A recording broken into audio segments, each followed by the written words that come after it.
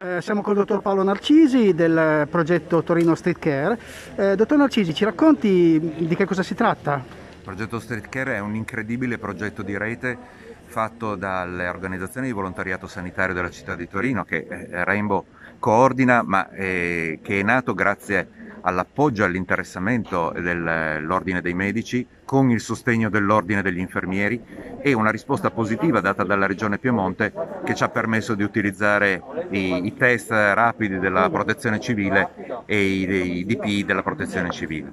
In questo modo noi cerchiamo di mettere in sicurezza la, la, popolazione più fragile di Torino che è fatta da homeless, migranti, disoccupati, anziani che hanno perso i riferimenti eh, familiari per accedere al servizio sanitario nazionale, ma che eh, in qualche modo vanno tutelati e serve eh, questo tipo di iniziativa a mettere in sicurezza questa, questa, popolazione che normalmente non avrebbe accesso a questo tipo di esame. Eh, il percorso è stato concordato col DIRMEI, con la Regione e con eh, l'ASL Città di Torino che ci permette quindi di fare seguire al tampone antigenico eventualmente positivo immediatamente un tampone molecolare e in caso di confermata positività l'isolamento fiduciario presso un Covid hotel. Ecco, è stato detto eh, dal Consiglio Superiore di Sanità che eh, tutte le persone presenti sul territorio italiano avranno, quindi anche i, i cittadini extracomunitari eh, presenti sul territorio italiano avranno diritto a essere vaccinati.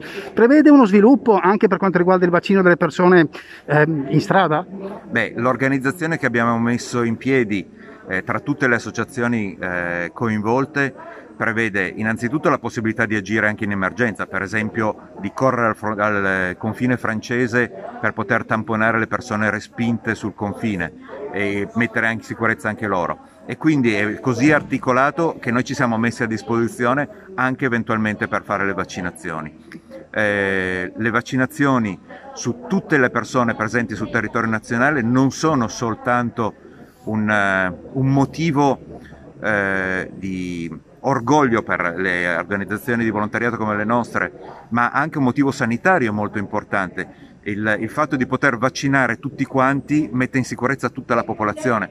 Pensare che ci siano persone di serie A o serie B, oltre che stupido, cattivo e non etico, sarebbe anche molto stupido dal punto di vista sanitario. Grazie mille, dottor Narcisi.